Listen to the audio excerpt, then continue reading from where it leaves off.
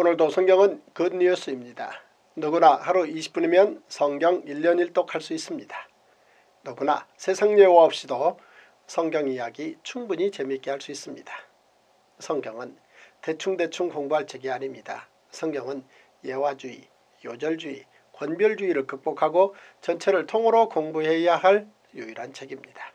먼저 오늘의 굿뉴스 베드로 후서 1장에서 3장의 통습 다섯 가지 포인트입니다. 첫째, 베드로는 자신이 죽고 난 후에도 계속해서 진리를 생각할 수 있도록 두 번째 편지인 베드로 후서를 남깁니다. 둘째, 베드로는 자신이 직접 경험한 하나님의 아들 예수 그리스도를 증거하므로 예수님의 재림을 확증합니다. 셋째, 베드로는 하나님께 반드시 심판받을 거짓 선생들에 대해서 엄히 경고합니다. 넷째, 베드로는 주의 재림에 대해서 다시 한번 가르칩니다. 다섯째, 베드로는 성경의 모든 말씀은 예수 그리스도께서 다시 오실 때에 온전히 깨닫게 될 것이라고 가르칩니다. 성경은 소리내어 읽을 만한 유일한 책입니다. 여러분들도 저와 함께 역사순 1년 1독 통독 성경으로 오늘의 굿뉴스 베드로 후서 1장에서 3장을 함께 소리내어 읽겠습니다. 제356일 베드로 후서 1장 예수 그리스도의 종이며 사도인 시몬 베드로는 우리 하나님과 구주 예수 그리스도의 의를 힘입어 동일하게 보배로운 믿음을 우리와 함께 받은 자들에게 편지하노니 하나님과 우리 주 예수를 알므로 은혜와 평강이 너희에게 더욱 많을지어다. 그의 신기한 능력으로 생명과 경건에 속한 모든 것을 우리에게 주셨으니 이는 자기의 영광과 덕으로서 우리를 부르신 이를 알므로 말미암음이라. 이로써 그 보배롭고 지극히 큰 약속을 우리에게 주사 이 약속으로 말미암아 너희가 정욕 때문에 세상에서 썩어질 것을 피하여 신성한 성품에 참여하는 자가 되게 하려 하셨느니라. 그러므로 너희가 더욱 힘써 너희 믿음의 덕을 덕의 지식을 지식의 절제를 절제의 인내를 인내의 경건을 경건의 형제 우애를 형제 우애의 사랑을 더하라. 이런 것이 너희에게 있어 흡족한즉 너희로 우리 주 예수 그리스도를 알기에 게으르지 않고 열매 없는 자가 되지 않게 하려니와 이런 것이 없는 자는 맹인이라 멀리 보지 못하고 그의 옛 죄가 깨끗하게 된 것을 잊었느니라. 그러므로 형제들아 더욱 힘써 너희 부르심과 택하심을 굳게 하라. 너희가 이것을 행한즉 언제든지 실족하지 아니하리라. 이같이 하면 우리 주 곧 구주 예수 그리스도의 영원한 나라에 들어감을 넉넉히 너희에게 주시리라. 그러므로 너희가 이것을 알고 이미 있는 진리에 서 있으나 내가 항상 너희에게 생각나게 하려 하노라. 내가 이 장막에 있을 동안에 너희를 일깨워 생각나게 함이 옳은 줄로 여기노니 이는 우리 주 예수 그리스도께서 내게 지시하신 것 같이 나도 나의 장막을 벗어날 것이 임박한 줄을 알미라. 내가 힘써 너희로 하여금 내가 떠난 후에라도 어느 때나 이런 것을 생각나게 하려 하노라. 우리 주 예수 그리스도의 능력과 강림하심을 너희에게 알게 한 것이 교무여이 만든 이야기를 따른 것이 아니요 우리는 그의 크신 위엄을 친히 본 자라. 지극히 큰 영광 중에서 이러한 소리가 그에게 나기를 이는 내 사랑하는 아들이요 내 기뻐하는 자라 하실 때에 그가 하나님 아버지께 존귀와 영광을 받으셨느니라. 이 소리는 우리가 그와 함께 거룩한 산에 있을 때에 하늘로부터 난 것을 들은 것이라. 또 우리에게는 더 확실한 예언이 있어 어두운 데를 비추는 등불과 같으니 날이 새어 샛별이 너희 마음에 떠오르기까지 너희가 이것을 주의하는 것이 옳으니라. 먼저 할 것은 성경의 모든 예언은 사사로이 풀 것이 아니니 예언은 언제든지 사람의 뜻으로 낸 것이 아니요 오직 성령의 감동하심을 받은 사람들이 하나님께 받아 말한 것입니다. 베드로 후서 2장 그러나 백성 가운데 또한 거짓 선지자들이 일어났었나니 이와 같이 너희 중에도 거짓 선생들이 있으리라. 그들은 멸망하게 할 이단을 가만히 끌어들여 자기들을 사신주를 부인하고 임박한 멸망을 스스로 취하는 자들이라. 여럿이 그들의 호색하는 것을 따르리니 이로 말미암아 진리의 도가 비방을 받을 것이요 그들이 탐심으로써 지어낸 말을 가지고 너희로 이득을 삼으니 그들의 심판은 옛적부터 지체하지 아니하며 그들의 멸망은 잠들지 아니하느니라. 하나님이 범죄한 천사들을 용서하지 아니하시고 지옥에 던져 어두운 구덩이에 두어 심판 때까지 지키게 하셨으며 옛 세상을 용서하지 아니하시고 오직 의를 전파하는 노아와 그 일곱 식구를 보존하시고 경건하지 아니한 자들의 세상에 홍수를 내리셨으며 소돔과 고모라 성을 멸망하기로 정하여 죄가 되게 하사 후세에 경건하지 아니할 자들에게 본을 삼으셨으며 무법한 자들의 음란한 행실로 말미암아 고통당하는 의로운 롯을 건지셨으니 이는 이 의인이 그들 중에 거하여 날마다 저 불법한 행실을 보고 들으므로 그 의로운 심령이 상함이라. 주께서 경건한 자는 시험에서 건지실 줄 아시고 불의한 자는 형벌 아래에 두어 심판날까지 지키시며 특별히 육체를 따라 더러운 정욕 가운데서 행하며 주관하는 일을 멸시하는 자들에게는 형벌할 줄 아시느니라.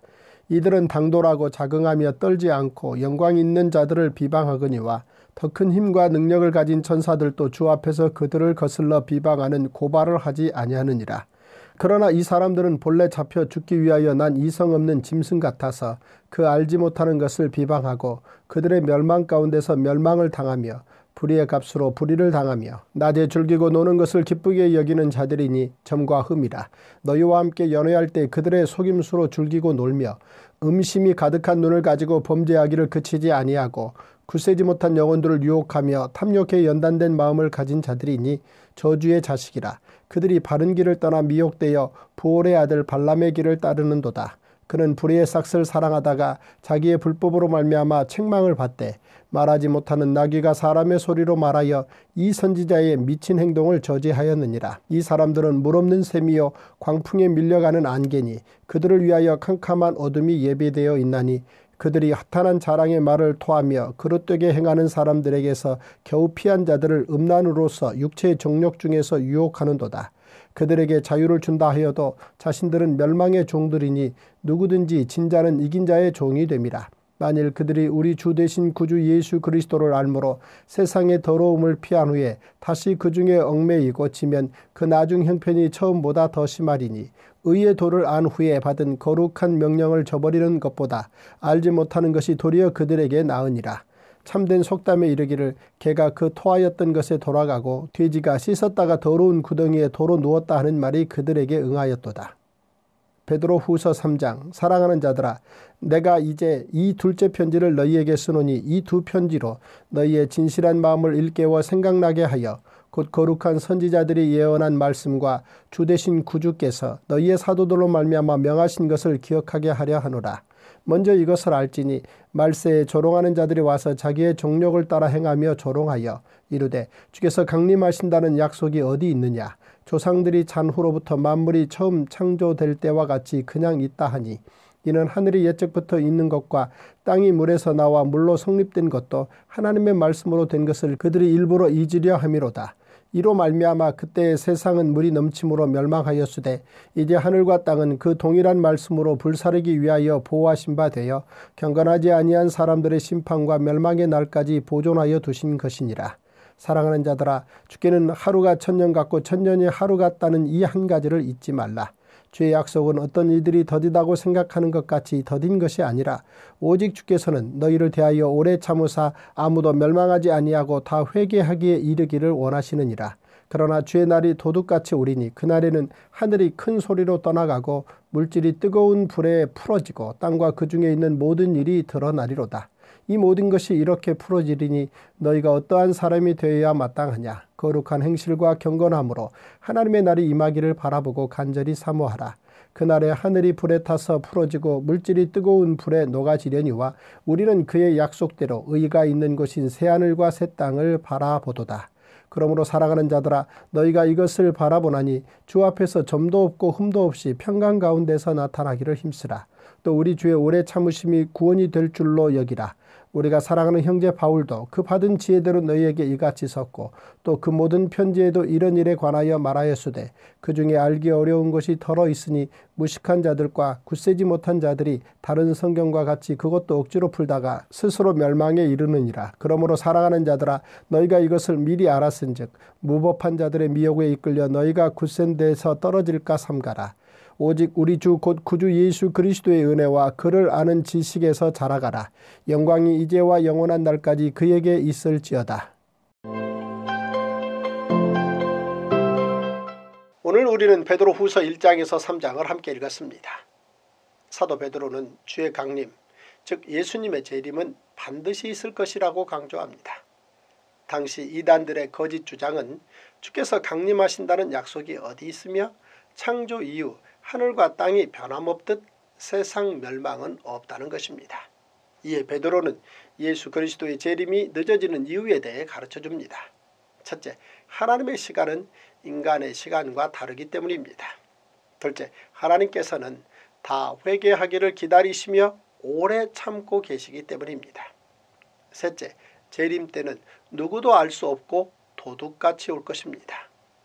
사도 베드로는 이단에 빠져 믿음이 흔들리고 있던 성도들에게 하나님께서 약속하신 구원의 날은 반드시 임할 것이기 때문에 그날을 사모하며 주 예수 그리스도가 강림하실 때까지 온전하고 흠이 없는 인생을 살아가야 한다고 권면합니다.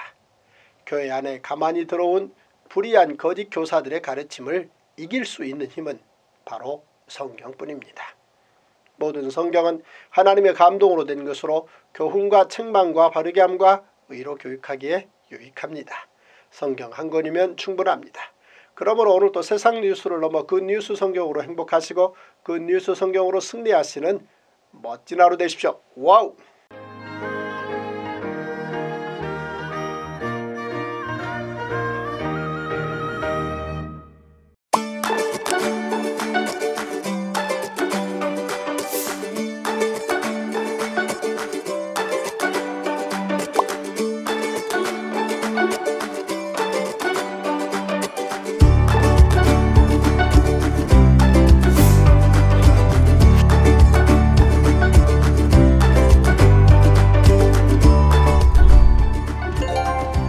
태초부터 종말까지의 시간 이야기, 약속의 땅에서부터 땅끝까지의 공간 이야기, 그리고 하나님께 순종한 사람, 그리고 불순종한 사람들의 인간 이야기가 시간, 인간, 공간이 통으로 다 이해가 되더라고요.